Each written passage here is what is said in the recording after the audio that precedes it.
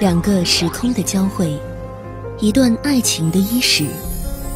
欢迎收听多人有声小说剧《夜旅人》，原著赵羲之，主播东林善、云天河，由长安欢悦工作室独家出品。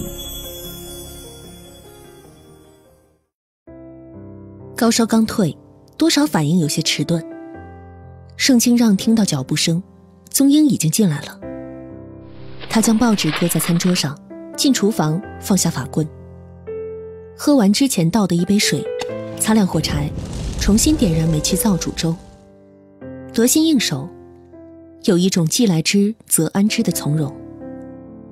盛清让看得略怔，他回过神，试图回忆昨天晚上的事。淋了雨，累得不行，无处可去，最后只得到六九九号公寓。在后面的事。他一概记不得了。这时，宗英倒了一杯温水放到他面前。盛先生，你昨晚发了高烧。他说着，在对面一张藤椅上坐下。盛清让抬头看他，交握起双手，毯子就滑了下来。他又连忙捡起毯子，看到自己光裸着一双脚，鞋没了，袜子也没了。他试图询问。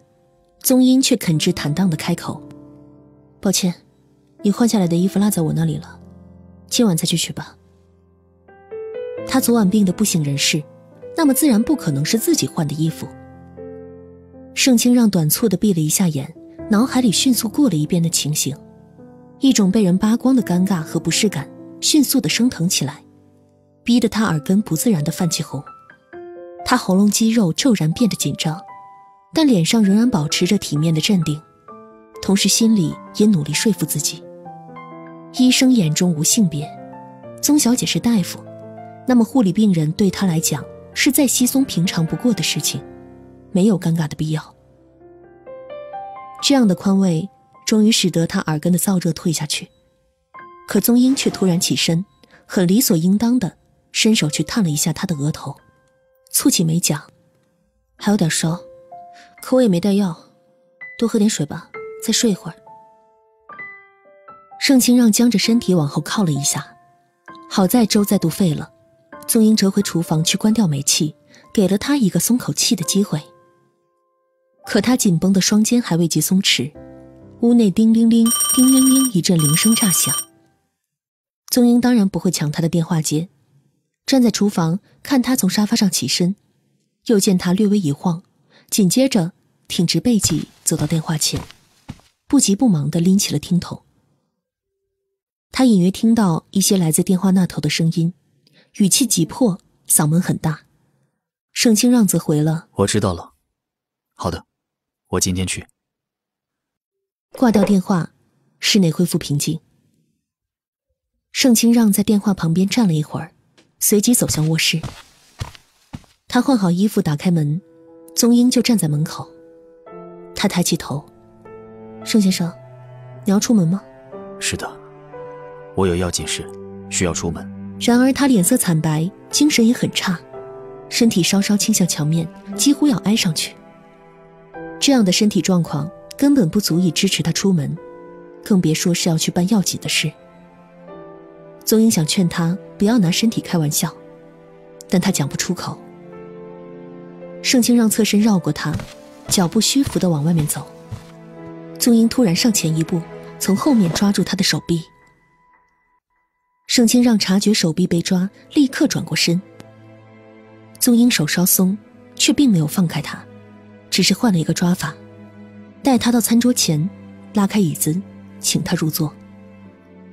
盛清让坐下来，听他在身后问：“这件要紧的事。”如果晚去半个小时，会不会出人命？应当不会。那么吃早饭。他语气不凶不急，却有着不的权威。盛清让起身拿过茶几上的水杯，才喝了一口，一碗热气腾腾的白粥就递到他的面前，不稠不稀，煮得恰到好处，上面撒了一些肉松。今天牛奶没有送。宗英端着一只白瓷盘，一杯水在对面落座。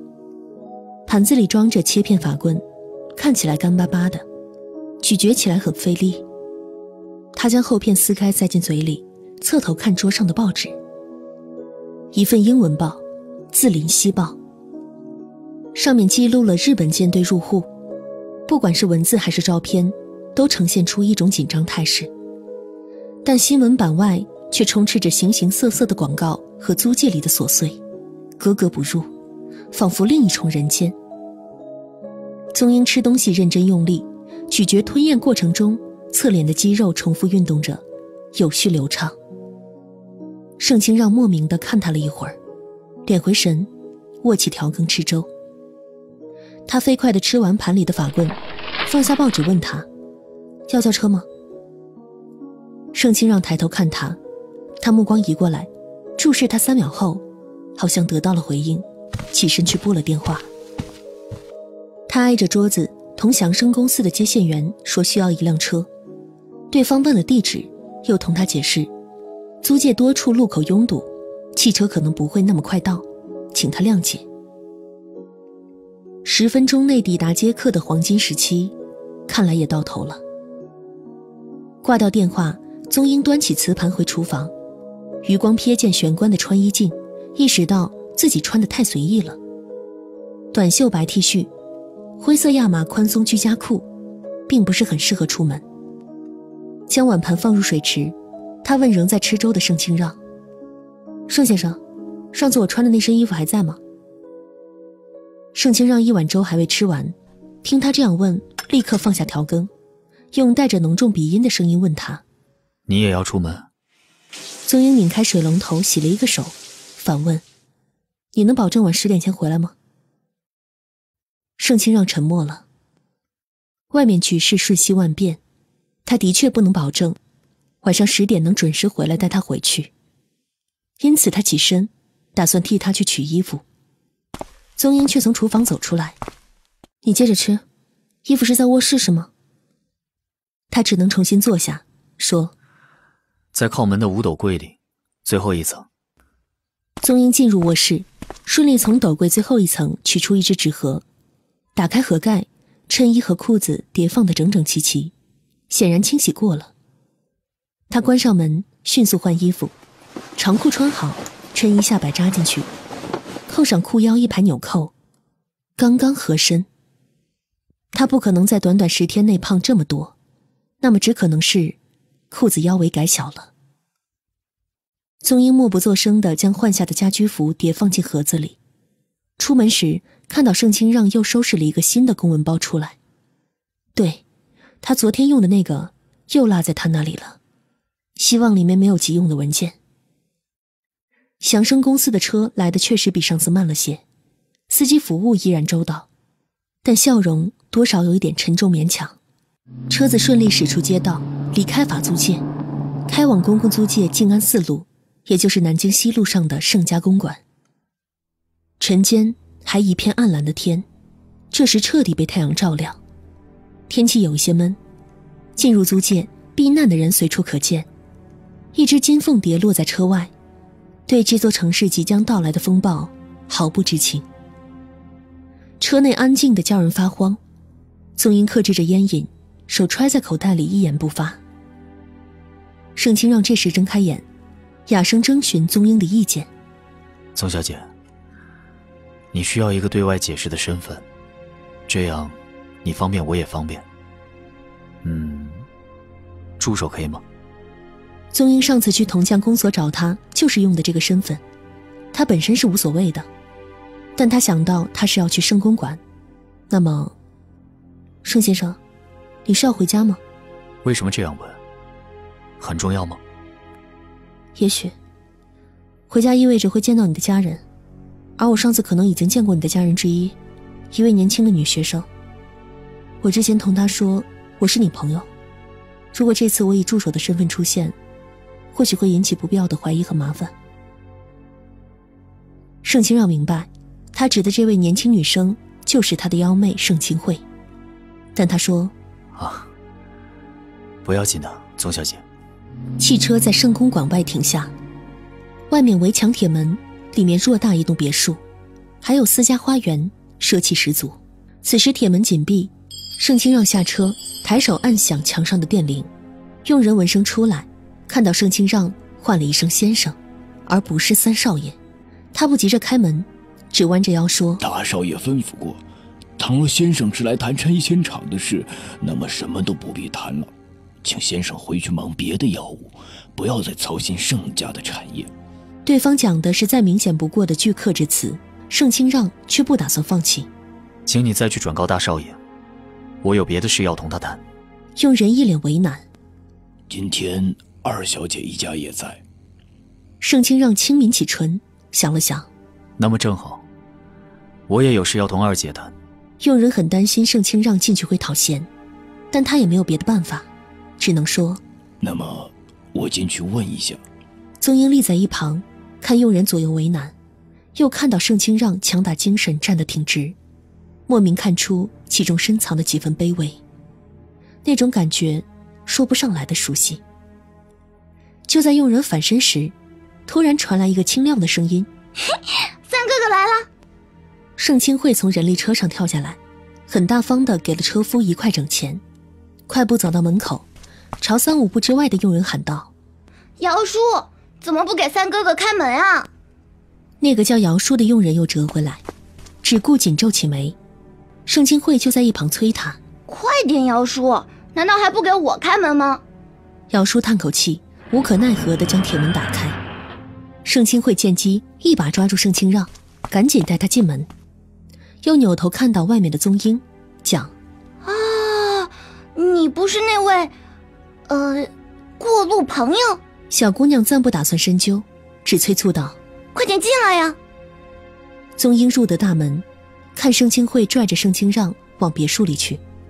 盛清让这时回头看他一眼，他低头快步跟上，走到盛清让旁边，主动伸手拿过他的公文包。刚一进门，盛清慧便喊：“大哥，二姐，今天学校停课了。”偌大的房子里清静的诡异，只有盛清慧的声音在回荡。盛清慧皱起眉，二楼探出一个脑袋来，是一个七八岁的孩子。他扒着栏杆说：“小姨，你回来了。”爸爸妈妈和大舅舅在二客厅里讲话。他说完，将视线移向盛清让，只看着，一声不吭。孩子的反应是最直接真实的，他显然认识盛清让，也知对方是长辈，但连称呼也没有一句，就格外奇怪。宗英留意到这个细节，想到盛清让公寓里那张合影，相片中的他，只有大半张脸。这时，盛清慧快步上了楼，盛清让也跟上去。宗英走在最后，脚踩在厚重的地毯上，动静微乎其微，仿佛整栋楼是一只吞吃声音的妖怪。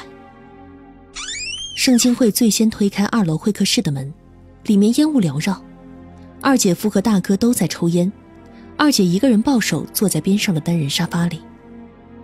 意识到门开了，三个人纷纷抬头看过来。先是看到盛清慧，然后看到盛清让，最后是宗英。大哥突然蹙眉，摁灭烟头，径直质问盛清让：“你还来做什么？”二姐索性别开脸，二姐夫接着抽烟。盛清慧无视着沉闷的气氛，兀自往沙发上一坐，抬头同盛清让讲：“三哥哥，有事情坐下来谈嘛。”言毕，又看一眼宗英，示意他也坐。盛清让脸色愈差，他说：“给我一点时间，我讲完就走。”大哥不耐烦的抿唇，身体后仰，鼻子里溢出沉重的气息。讲。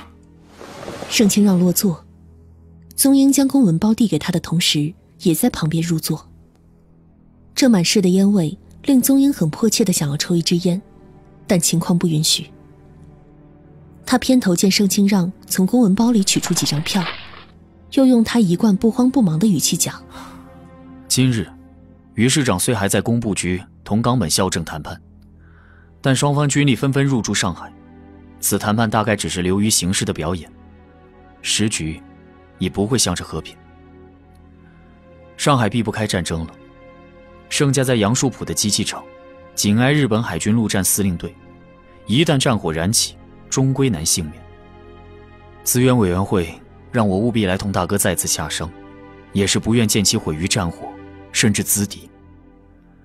倘现在撤离，亦有迁移及重建补助。大哥原本就被一大早停工的消息惹得不高兴，这时怒气更甚，竟然有了破罐子破摔的架势，霍地打断了他。紧挨着日本人又如何？最差不过是被全部炸掉。盛家不止这一家工厂。那么，抛开杨树浦的不谈，盛家在租界里的工厂也不要紧吗？国军、日军，哪个敢随便进租界打？是不行。那么空袭呢？炸弹不长眼睛。也不认租界，大哥拿起烟灰缸就朝他砸过去，盛清让避开了，烟灰缸砸在地板上，灰白烟灰洒了一片。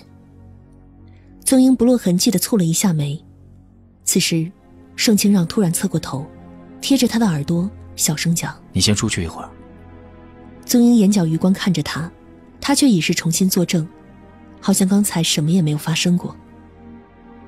屋子里静了将近一分钟。宗英在这短暂的时间里撤了出来，那个小孩仍在二楼的走廊里玩耍，看到宗英，也是一声不吭的。宗英从他身边走过，下楼梯时突然注意到悬在墙上的一张巨大的全家福，里面有大哥，有二姐，有一个穿军装的青年，还有小妹盛清慧，唯独没有盛清让。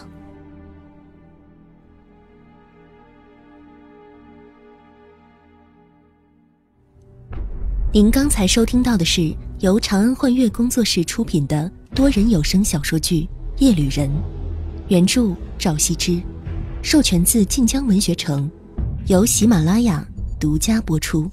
感谢您的收听。